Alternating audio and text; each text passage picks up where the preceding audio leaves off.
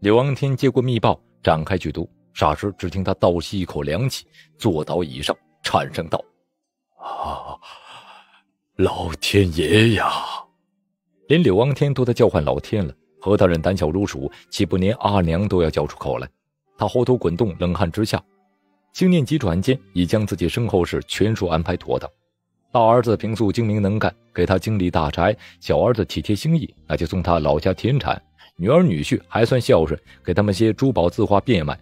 至于天福号的五万两私房现银，分给三个私生子好了。诶，送完了，自己辛苦了一辈子，怎么什么都没留下呀？哎呀，我不要死啊！伴随着这个念头，满面泪水的何大人一把抢过军情公文，奋力读出了声：“嘉峪关守军急报，查西江忽起不明敌军，分四路迂回入关，直返西北而去。这番兵数约三万。”三月内至天水，朝廷各路军马闻报速援。何大人呆了半晌，忽地抹去泪水，连拍心口道：“啊啊！恭喜侯爷了！”柳王天斜了他一眼，叹道：“唉，大人恭喜我什么呀？”何大人笑道：“哈嘉峪关是江冲管辖的地方，蛮夷潜入他的辖地，这皇上发个火来，来个降旨定罪。”他姜太师呜呼哀哉，那我还不该恭喜你柳侯爷吗？柳王天微微叹息道：“唉，何大人呐，你把公文看清楚，那支番军打破关隘，现今开往何处啊？”何大人急忙去看，只见“天水”两字。这天水无甚奇特，乃是西北穷苦地方，除了牛羊皮革，便是一片荒漠，实在没啥稀奇之处。何大人不知柳王天为何有此疑问。他略略思索，忽然心头一动，想到一处地方。何大人身子开始发抖，颤声道：“啊，呃呃，天水城，老天爷呀！他们，他们是去怒苍山。”刘王天不去理他，转望向军情探子，问道：“仙下是谁居山造反？可是，可是他吗？”那军官答道：“侯爷所料不错，正是秦将军。”柳王天长叹一声，闭目不语。何大人则是吓得全身乱抖，七魂六魄止于一半。刑部一场大火烧死了虎灵军统领，也把反余孽化为灰烬。哪知魔王之子非但不曾死去，而且还在蠢蠢欲动。情势如此紧张，也难怪柳王天要正经坐倒了。半年前，皇帝立下连坐罪罚，倘若秦仲海给人劫狱，便拿柳王天试问。现下这人不知逃出升天，居然还更上一层楼，在那儿聚众称反。不知皇上狂怒之下，柳王天会有什么下招？何大人摇头叹息，眼中露出怜悯，望着眼前的柳大都督。听得昔年爱将向朝廷挑战，柳王天没有发怒大吼，他只轻轻一笑，抬头望着一片晴空，神色竟是十分寂寥。四下一片寂静，只听他轻轻一叹，道：“八仙宫啊，对不起了。”何大人听到他提起“霸仙宫”三字，蓦地心中便是一凛。便在此时，他从柳王天眼中看到一丝光芒，这光芒并不陌生。当今全城江冲，昔年要角刘敬，甚至三十年前在朝为官的武德侯秦霸仙，这些人的目光都是如这般深邃悠远，让人猜不透他们心中的想法。何大人心下大惊：这是怎么搞的呀？柳侯爷一向忠厚，呃，怎么会有这种眼色呀？正要开口询问，忽见柳王天转过头来朝自己看了一眼，跟着缓缓闭上了眼。何大人咦了一声，便在此时，几名军官走向何大人身前，手指慢慢朝刀柄靠去。何大人额角冒出冷汗，牙关上下颤动，嘎嘎作响。在这生死绝命的刹那，终于知晓柳王天的意图了。这位精忠报国的大都督，恐怕要学一学姓安的手段了。姓安的很多，有笨蛋安道经、神医安道全、大力士安世荣，当然还有一个名震千古、令各朝各代君臣念念不忘的人物，那便是大名鼎鼎的三山节度使安禄山。要问谁才是两朝元老、国家基石，看看台下的十万精兵就知道了。如要中间不分残民已成，整个惹恼了忠君报国的事，那可不是东厂总管挖挖地道那么简单。渔阳鼙鼓起边关。待我重拾旧河山，愤怒会烧成什么样的火焰？征西大都督秦霸先先前已经展现过了。倘若柳王天给逼急了，怕会走上这条老路。何大人身为监军，柳王天若要称反，第一个杀的便是他。何大人全身冷汗蹭蹭而下，眼中怜悯更甚。不过这一回可不是替旁人怜悯，而是替自个儿的命运哀泣。他心中一酸，双膝软倒，跪地哭道：“呃呃，侯爷呀，这皇上是个聪明人，他不会要当唐明皇的呀！你你可千万别做安禄山呐！”《长恨歌》的故事号称凄清，景泰皇帝是聪明人，戏台上的巨马何其之多，什么不好演，他不会要这个角色的。刘王天不去理他，自向手下喝道：“取绳索来！”何大人拼命磕头，抱住他的腿，哭道：“不要啊，别杀我呀！”刘王天听他大声哭嚎，忍不住啧了一声，将他扶起，责备道：“哎呀，何大人呐，什么杀与不杀的？”您说的是什么话呀？刘某忠君爱国，怎有谋反之心呢？大人别要误会了。何大人念念如如，自管低下头去。此刻情势危急，刘王天倘不拥兵自重，皇帝只要下旨夺他兵权，定然万劫不复。这当口谈什么忠君报国，不免做作了。刘王天弯下腰去，替何大人拍去膝间黄泥，闻言道：“何大人呐，我想拜托你一件事。”何大人心下害怕，双手连摇。但想起命悬人手，又是拼命点头，颤声道：“呃，大大人何事相托呀？”柳王天将头上盔甲取下，交在何大人手里，跟着从下属手中接过绳索，微笑道：“啊哈哈，何大人呐，请你将我押回北京，老臣要向皇上请罪呀。”何大人茫然张嘴，心中只感惊诧，却听柳王天淡淡的道。我这个征北都督做了几十年，实在倦得很了。此番管教下属不力，自当负荆请罪。唉，还请皇上成全，让我这个戴罪之身告老还乡。刘某余愿足矣呀！何大人嘿的一声，急道：“呃呃。”侯爷呀，您可也天真了。这江冲老早是八方接您的兵权，您真想退隐，也得安排个人选，好来接替您的位子呀。说话之间，柳王天已自负双手，转朝自己走来，看他嘴角带笑，眼神飘往远方，神态竟是十分轻松。何大人见了，魂不在意的神色，方才醒了过来。他急拍额头，暗忖道：“哎呦，我可傻了呀！人家是以退为进呢。”怒苍山造反，各路反贼汇聚本山。这当口火烧眉毛，谁敢拿兵权，谁倒霉呀！江冲便算猴急百倍，也不会选在这时候接管兵权呐。姜是老的辣，柳王天两朝元老，城府何等厉害！此番负荆请罪，用意自在以退为进。江冲想让柳门与怒苍山斗个两败俱伤，自己再来渔翁得利，心机必然付诸东流。正想间，柳王天已然站在眼前，只等自己上前押解。何大人干笑两声，往后退开一步。何大人心下明白，柳王天此番辞去军权，已将烫手山芋扔了出去。满朝文武不管谁沾了，恐怕死无葬身之地。可千万别是自己才好啊！哎，过来这儿，有好东西给你啊！喂，你别吵他，让他自个儿选啊！大厅里人声喧哗，众人你一言我一语，俱带欢容。好似有什么喜事一般，人头攒动间，数十人挤在一张圆桌旁，盯着桌上一名小小婴儿。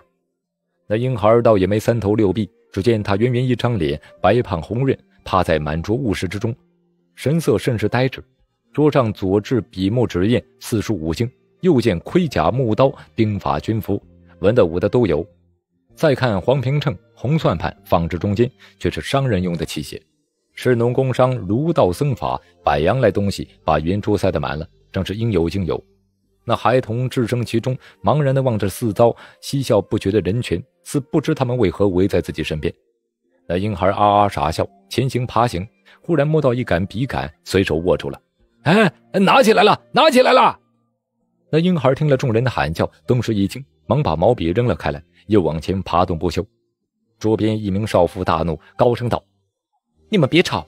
我儿子本来要拿笔杆的，全都给你们吓的。众人急忙闭上了嘴，脸上却都挂着笑。都说母子连心，难得喜获灵儿，当此抓周关头，也难怪他的儿子紧张了。古有礼俗，婴孩周岁之时，父母尊长便会借抓阄习俗，看看婴孩欢喜什么物事，也好明了这孩子日后的喜好成就。此时，中国民风尚文，尤重公民身份，是以父母多盼小儿能在抓周时见养文房四宝，也好讨个彩头。众目睽睽，目不转睛，只盯着婴孩瞧。那孩子神情傻呆，往桌心爬入，一路穿越笔墨纸砚，却都视而不见。陡然间，那婴儿见了妇人穿的肚兜，似乎有些好奇，进而停下身来，跟着低头去望。那少妇如临大敌，就怕儿子伸手去拿，霎时连连挥手，喝道：“哎呀，不许碰那个，快快走开！”那婴孩听了娘亲的喊叫，反而啊啊欢笑，更把肚兜提在手里，好似要穿将起来。那少妇见儿子的举止，登时惨叫一声，惊道：“哎呀，不行的，不行的！”眼看少妇泪眼汪汪，面色惨白，旁观众人纷纷哈哈大笑，道：“哈哈哈哈舒姐呀，这下可恭喜你了，生了个风流浪子呢！”那少妇舒姐掩耳大叫：“不算，不算！这鬼东西是谁放进来的？哪有人这般缺德呀？”一人扑哧一笑，当即跃中出来，歉然道：“啊，对不住啊，这肚兜是我放的。”舒姐转目一瞧。这人约莫二十来岁，生得唇红齿白，模样俊俏，正是表弟杨少奇。他越想越气，霎时哭出了声：“少奇，我和你有什么仇？干嘛这样整你外甥？你这表舅是怎么做的呀？”少奇面色尴尬，忙咳了一声，道：“啊啊，我只是看桌上全是书本，一时有些好奇，便放了些旁的物事进去。没想，没想。”身旁一人接口道。没想到啊，这小小婴儿好生了得，已是个登徒浪子了啊！哈哈哈哈哈！众人闻言又是大笑起来。舒姐往身旁一名妇人扑去，靠在他怀中，哭道：“二姨妈，表弟欺负我儿子，你给评评理呀！”说着顿足称语，应是不依。那中年美妇皱起眉头，望着杨少奇，摇头叹道：“哎，看看你，真没半点样子，怎不学学你哥哥？”二十岁的人了，连近视都中了，还这么顽皮。杨少奇听了母亲的责备，知道不好多说，当下吐了吐舌头，向那少妇道：“啊，舒姐，是我错了，这肚兜就送给琳琅，算是赔礼了。你说好不好啊？”众人望向那名婴孩，只见他正把肚兜套上身了。舒姐看了儿子的丑态，更是放声大哭。中年美妇嘿了一声，有些发怒了，称道：“还敢贫嘴，这般不学好！”等爹爹回来，看他怎么罚你。当下低声安慰，只盼外甥女儿别再啼哭了。眼看表姐哭泣不休，杨少奇也知道这个火是闯得不轻了。他咳了一声，上前劝道：“舒姐，快别哭了，这抓周做不得准的，你可别当真了。”那舒姐称道：“你自己是进士大官，当然不在意了，却把我儿子弄成弄成……”他也不知该说什么，往儿子看了一眼。只见他兴高采烈、兀自把玩着女孩的亵衣，忍不住大哭起来。杨夫人忙安慰他：“别哭了，少奇的话呀，也不是没有道理。抓周真做不得准的。你可知道少奇小时候抓的是什么呀？”舒姐泪眼汪汪，没好气地说：“他那么会读书，还能抓什么？不是笔杆，便是书本了，还能是什么乱七八糟的玩意儿吗？”杨夫人微微一笑，吩咐管家道：“老蔡呀，取那只木箱来。”不多时，那管家老蔡急急搬过一只木箱，珍而重之的送到杨夫人面前。众人心下好奇，都在等着看。杨夫人微微一笑，从箱中取出一件物事，道：“舒言啊，你张眼瞧瞧，这是什么东西呀？”舒姐惊呼一声，急忙伸手接过，见是一张木质花脸，却是小童拿来玩耍的京剧脸谱。杨夫人笑道：“那年啊，少奇什么不好捡，偏偏捡了张桃花脸谱。”他爹爹见了，可没气煞了，当场便要打他一顿呢。管家凑了过来，陪笑道：“可不是嘛，那年老爷气急败坏，说家里出了个戏子，要活活打死小少爷。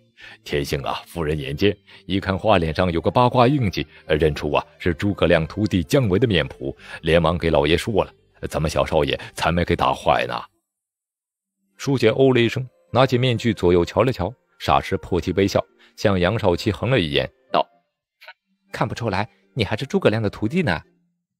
杨少奇摇头笑道：“啊，别取笑我了，人家的师傅是卧龙，我的师傅是个老学究，怎么好相比呢？”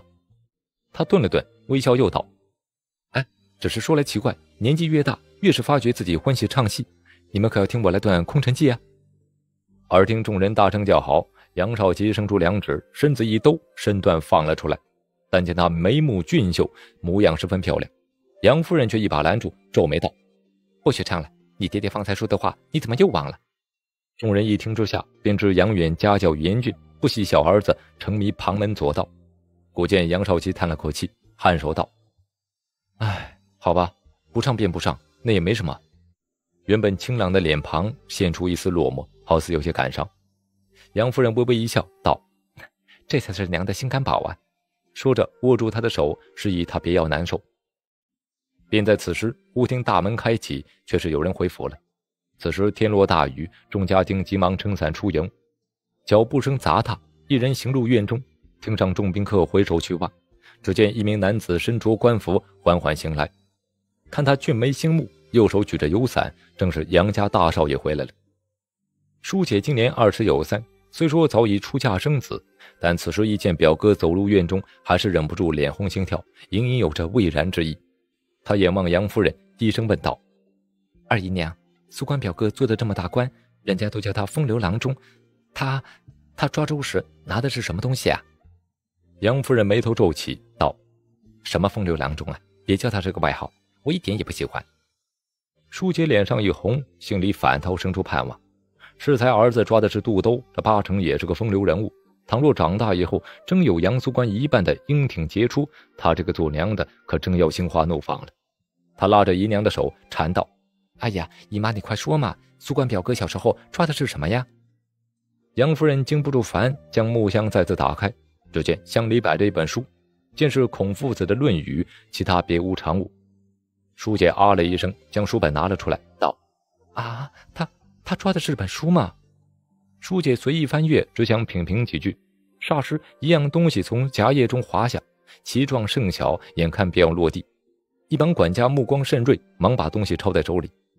杨夫人面露不悦，快手将书本夺回，跟着从管家手中取回物时，慎而重之的夹回书里。舒姐一旁看着，只见那所物状成圆形，约摸指甲大小，好似是只布纽扣。她满心好奇，便想多问两句。但察言观色中，二姨妈神色好似不大自在。舒姐心生警觉，忙把话吞了回去。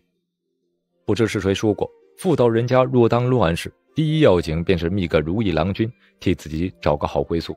若不可得，那便退而求其次，找个能彰显贞淑的高尚之地，以成淑女之道。真淑、贤淑这些字眼，对于氏来说，便是她一生的写照。嫁给大学士杨远，匆匆已过数十载。昔年家中赤贫，于是含辛茹苦贩制羊皮为生，终于结识当年风流倜傥的杨远。日后两人结离，二子成才，终于苦尽甘来了。尤其长子更是名闻遐迩的风流四郎中，更是羡慕了世间的贤妻良母。人生至此，夫复何求？不正是应了这句话吗？杨夫人心里这样想着，嘴角含笑，替儿子把发髻拢起。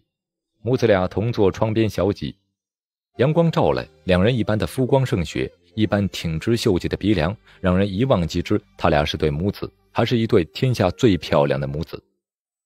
杨夫人望着镜中的爱子，比起他弟弟杨苏官显得老成许多。低头思索时，俊美中更透出一股稚嫩来。这样的男儿，怎不让女孩爱上？杨夫人满面柔情，在爱儿面颊上轻轻一吻，紧挨着她坐下，问道：“刚才呀，淑媛还问呢，前些日子你不是和顾家小姐好吗？怎的好端端的？”她却和别的男孩定亲了。杨苏官咳了一声，道：“啊，娘可别多心了。顾大小姐是孩儿顶头上司的爱女，平日对她嘘寒问暖，本属应然。孩儿绝没别的意思。”杨夫人摇头浅笑道：“别来那套大公无私的官场文章。你爹爹呀，人又不在这儿，别跟娘说这些了。”他倒了杯热茶，送到爱子嘴边，喂着他喝了一口，问道：“哎关关啊，跟娘说，你到底有没有意中人呢？”杨夫人出身江南，说起话来轻声细语。不管儿子多了多大官，长了多少岁，只要四下无人，她还是称呼爱儿的小名。那个“冠冠”两字，第一声高，第二声短，更是加倍亲昵。杨素官不以为意，接过茶杯，摇头道：“娘别烦恼了，我二十好几的人了，什么事打理不来呀？婚姻的事哪还需要您操心了？”杨夫人斜觑了他一眼，温婉一笑，道：“你呀，打小读书考试、练武做官，都有你爹爹管着。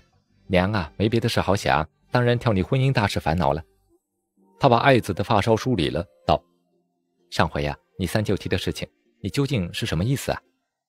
杨素官把茶杯放了下来，颔首道：“也好，便依舅舅意思，请淑宁表妹上家里住上一阵吧。”梁夫人大为欢喜，搂住爱儿的颈子，笑道。淑宁好生乖巧，娘老早便有这个撮合意思。你三舅几次向娘提，娘怕你不高兴，始终没答应呢。两人正自述说，忽的房门推开，一名老者踏步入内，神情严肃异常。杨夫人放开儿子，急忙站到几旁，与儿子分得远远的。杨素官轻抖官袍，站起身来，向老者微微颔首，唤道：“爹爹。”来人约莫五十来岁，虽过半百，模样仍是十分清秀。正是五府大学士杨元，风流司郎中之父。杨元捡了张椅子坐下，端起茶碗，向夫人看了一眼，示意他出去。杨夫人知道夫君有事交代爱子，当下不敢久留，便此转身离房。杨元气定神闲，提起茶碗，轻啜了一口，似在享用满口清香。杨素官守在一旁，却是端立不动，看他两眼直视前方，浑不似平日的从容潇洒。想来杨远的家规定是僧利无比。良久良久，杨远终于放下茶碗，他眼望爱子，道：“人生在世，习文练武，所求为何呀？”杨素官低头向地，答道：“所求无他，力争上游而已。”杨远神情甚是嘉许，又道：“嗯，居家待人，官场处事，所重为何呀？”杨素官轻轻叹了口气，答道：“师父如君，父母已孝。”取财求官之计，当局不能迷。杨元拍了拍手，微笑道：“嗯，很好，不愧爹爹多年苦心教导。”杨素官躬身道：“素官不敢忘父亲教诲。”杨元眯起双眼，喝了口茶，道：“爹爹自小对你严厉，全是为你前程着想，你得多忍着点啊。”说着，站起身来，拉住杨素官的手掌，牢牢握住了。他父子两人修长身材，高矮一般。杨素官给父亲的目光逼视，竟有些不自在。当下别开头去，目光不愿相接。他俊美的脸庞带着笑容，但表情有些僵直，似连呼吸也要停顿了。杨远看了看他的神色，忽地笑了笑，将手缓缓松开，道：“啊，你自幼替爹爹在少林寺出家，十八岁才返回京城，难怪咱们俩啊，比寻常父子身份多了。”杨素官欠了欠身，道：“光儿今年二十五六岁，早已长大成人，不再是不懂事的孩子，请爹爹不必担心。”杨云点了点头，他上前一步，将窗扉掩上，霎时之间，局长重重往桌上一拍，喝道：“你还说你懂事？到底有什么事瞒我？”茶碗经不住震荡，立时滚落桌下，打了个粉碎。场面急转直下，杨素官虽是沉稳老练之人，脸上还是闪过一阵惊诧。霎时举起双掌往后飘开三尺，石门心法更已弥漫全身。陡然间想起眼前这人是自己父亲，实在不必如此戒备，忙放下双手，调匀气息，回话道：“光儿不敢有事隐瞒爹爹，请爹爹息怒。”杨远冷冷的道：“苏官啊，苏官，你爹爹一生经过多少大场面，才干的这个五府大学士？你心里藏着事情，还想瞒住我吗？”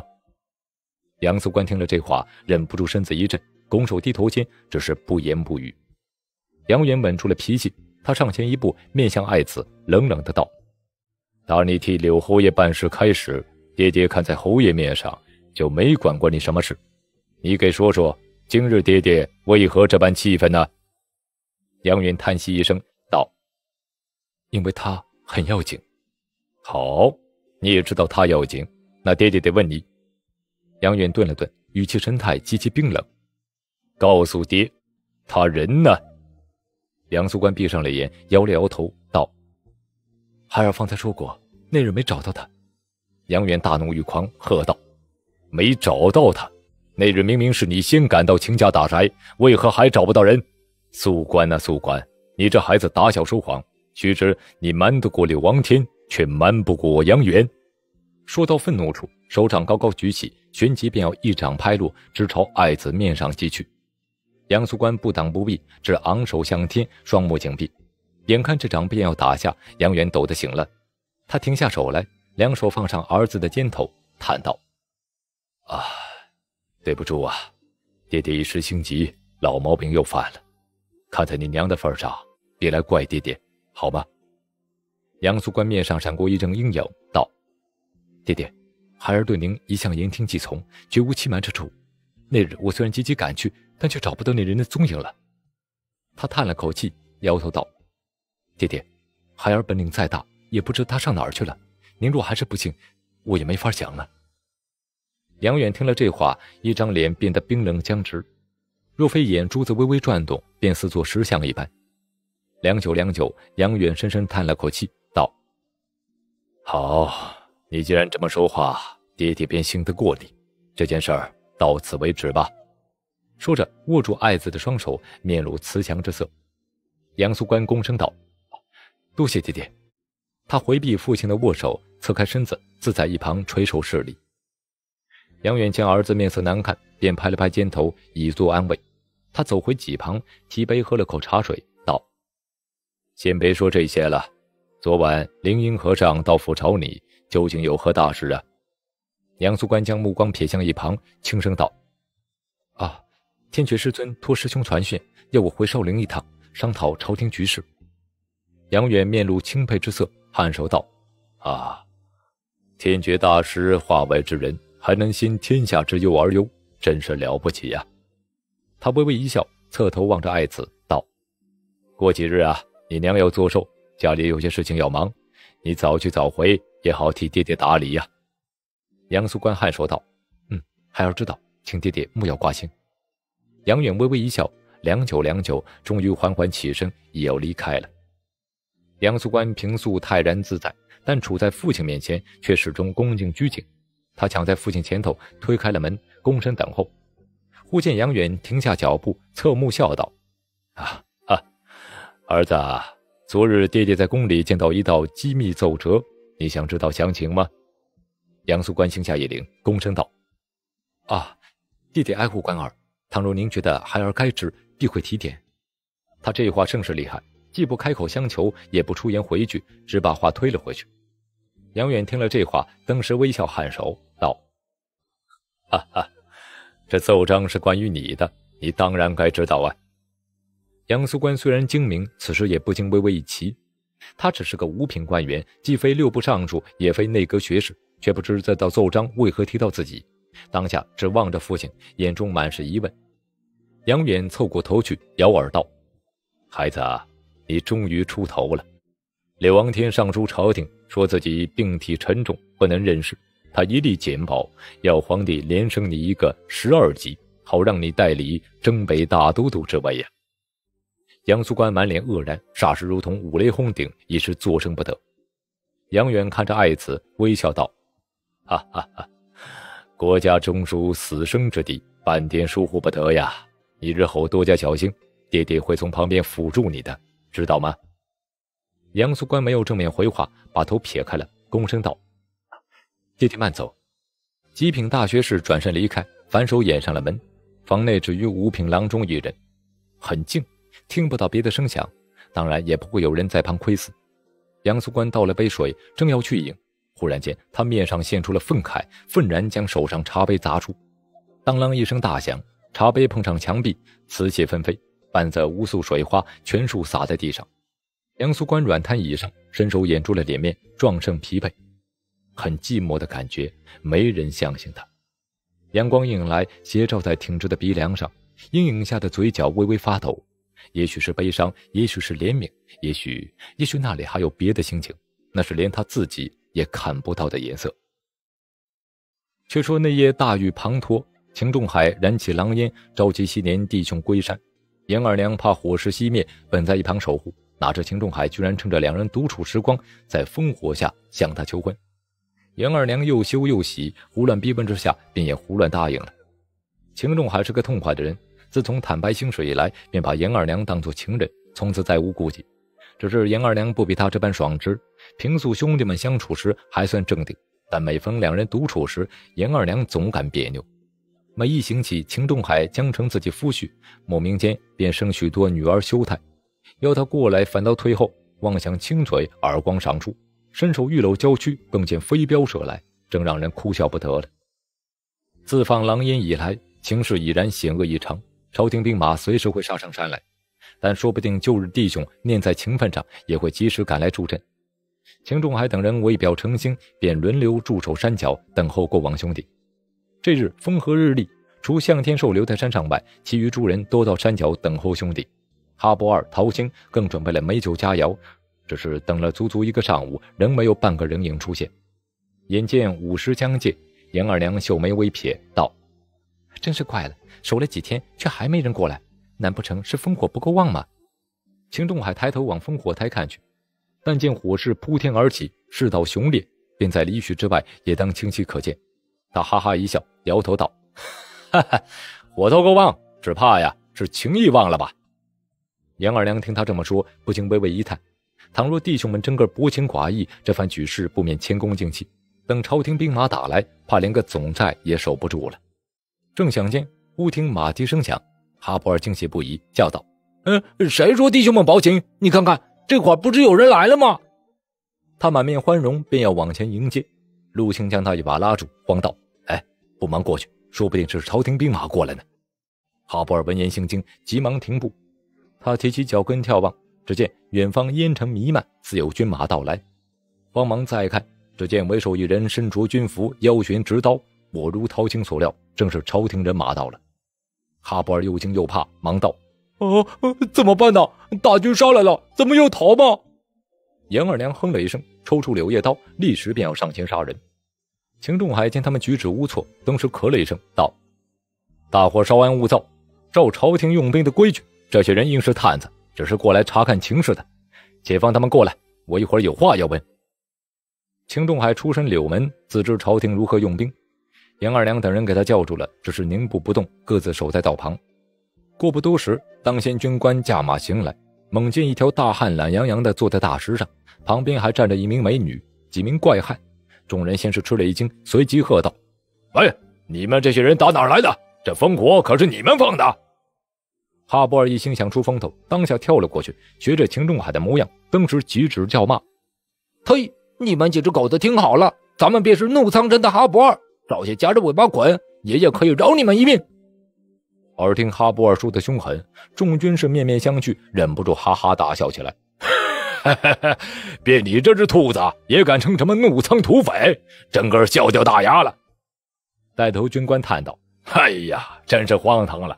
咱们劳师动众，却遇到疯子，这真是闹笑话了。”众人讪笑声中，哈布尔自是惊怒交并，只在那破口大骂。众军官本想查看情势，也好立些功劳，待见山脚下只聚集了三五只无名小卒，忍不住感到扫兴。想来这些无知妄人打听了怒苍山的名字，便也在那儿学人聚山造反。带头军官白忙一场，只在咒骂不休。待见严二娘颇为美貌，想起上司性情好色，便道：“好了好了，大家把这个女贼抓回去，总算能交差了。”众人答应一声，各自驾马回拢。一名高大汉子叫道：“哎，小凉皮，你叫什么名字？”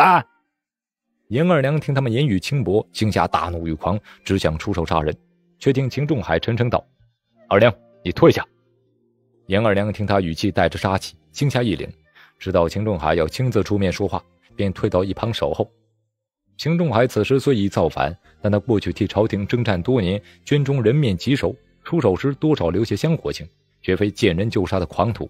只是这帮军官调戏妇女，犯了忌讳，秦仲海看在眼里，已有下手杀害的念头。他拦在道上，沉声道。你们是哪个卫所的？长官是谁？一名军官听他说话，口气沉稳，好似也是朝廷之人，忍不住一惊，道：“嗯，你是谁呀？”秦仲海面上杀气大盛，眯起了眼，冷冷的道：“你家长官没教过你吗？与人说话须得下马，方不显无礼。闭嘴，下马，然后通报名字上来。”那军官听他说话，口气直如长官教训部属，忍不住怒道：“混蛋，你是什么东西？”敢跟我这般说话？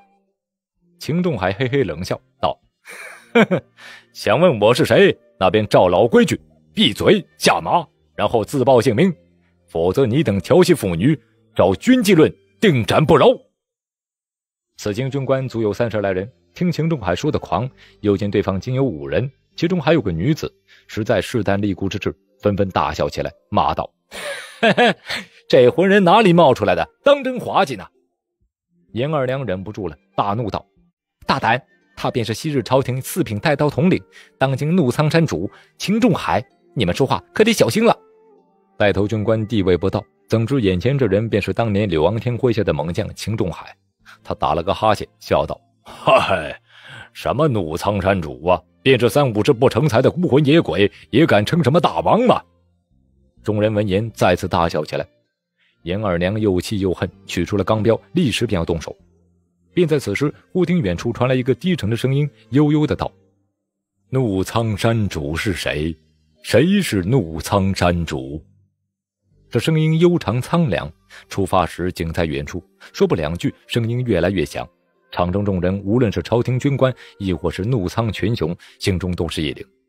众人转头去看，日正当中，一顶软鱼缓缓行来，前后各四名挑夫担着，正中端坐一条白发大汉。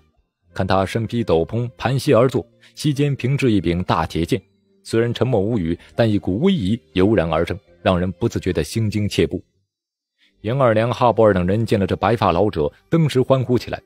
严二娘欣喜之下，便要上前相认，哪知走不数步，却给人一把拉住了。他转头去看，只见一人含笑望着自己。那人身穿袈裟，光头秃顶，身形颇见瘦小，正是前些时日一同前去乌斯藏的指关和尚。严二娘大喜，道：“啊，大师也来了。”指关微微颔首，却把他拉到一旁。严二娘不知他所欲为何，正想开口去问。指关却竖指在唇，示意惊声。严二娘自知有意，当下默守在旁，静观其变。众军官见那老者忽而到来，先是一惊，待见他指几名轿夫相随，登又狂妄起来。一名军官驾马上前，怒喝道：“老道，你是哪条道上的？这般年纪不在家里等死，却跑来这儿闹什么呀？”那老者置若罔闻，他双目低垂，道：“谁是怒苍山主？”这话先前被引问过，那军官呸了一声，道：“呸！老头，爷爷便是怒苍山主，你待又如何？”那老者呼吼一声，猛地抬起头来，双目凶焰爆射而出。那军官先是吃了一惊，但想起己方人多，精神复有一振，笑道：“ 嘿嘿，怎么，爷爷是怒苍山主，你听了不服气吗？”那军官正自讪笑，忽听头顶风声劲急，他抬头急看，只见一柄铁剑狂斩而至，宛若乌云盖顶。那军官惊得面无人色，他身带双枪，一见黑影当头射来，急忙提枪去挡。轰的一声响，双枪与铁剑相接，当时断作四截。那军官连哀嚎也不及发出，连人带马便给劈成一团烂泥，鲜血飞洒，触目心惊。那老者深吸口气，转望众人，森然道：“谁是怒苍山主？”严二娘、哈布尔等人与他目光相接，心下都是震惊，一时尽皆退后。众军卒见同伴惨死，一时又惊又怒。带头军官提声喝道：“狗贼刁民，竟敢杀害朝廷命官！大家准备弓箭，把这人射死了！”众人慌忙答应，当下弯弓搭箭，刷刷连响中，无数弓矢便朝那老者射去。箭雨紧密，那老者却是视若无睹。只听他仰天大吼：“谁敢自称怒苍山主？给我站出来了！”他提起铁剑，回旋一劈，伴随着霹雳般的吼叫声。尘烟弥漫中，只见地下升起一道沙幕，高达丈许。众人未曾见过这等怪象，纷纷尖叫起来。马嘶人嚎中，无数剑矢撞上沙幕，纷纷坠地。那老者兀自狂嚎不休，好似妖魔一般。过了良久，笑声止歇，四下哒哒哒声密如雨点。那沙幕仿佛暴雨一般，终于落回地下。众人心惊胆战，各自凑眼去望，只见沙地上给铁剑砍出一道深沟，纵横直达一丈。敌我双方见了这等威势，俱都面无人色，只在暗自发抖。眼见那老者仿佛妖怪一般，谁还敢动上分毫，说上一字半句？那老者面带杀气，望着带头军官，冷冷的道：“是你自称怒苍山主？”说话间翻身下轿，便朝带头军官走去。这老者身材高大，目光深微，眼看一步步走来，好似要张口吃人一般。带头军官大惊。自知死无葬身之地，急急翻身落马，双膝软倒，拱手求饶道：“呃，大王啊，不关小人的事儿啊！其余兵卒见状，也是吓得心惊肉跳，一时全数滚落马背，只管跪地不动。少时更有啜泣声传出。那老者傲然上前，冷冷望着严二娘等人道：“是谁自称怒苍山主？给我站出来了！”陶青、哈布尔等人虽想答话，但看着老者一瞪，全身只感发冷，到口的话便又吞了回去。严二娘自来胆气豪勇，正要上前说话，一人已抢在前头，沉声道：“朋友，有话冲着我说，别找旁人麻烦。”这人气度沉稳，神色丝毫无惧，正是秦仲海来了。那老者森然道：“你便是怒苍山主？”秦仲海微微一笑，道：“哼，我可没认啊，那是旁人封我的号，做不得准的。”那老者面上闪过怒气，暴喝道：“狂妄！”蓦地，黑影一闪，一物当头劈下，众人大声尖叫道：“啊，小心呐！”火光窜动，当的一声巨响，众人耳中剧痛，却不知发生什么事。众人定睛看去，只见秦仲海单手提刀，已然架住那道黑影。旁观众人看得明白，那黑影却是一柄大铁剑，剑长九尺，若要立在地下，怕比常人还要高上一个头。重剑夹内劲之威，奋力斩落，着实让人骇然。若非秦仲海神功已成，绝无可能挡得住这等刚猛剑法。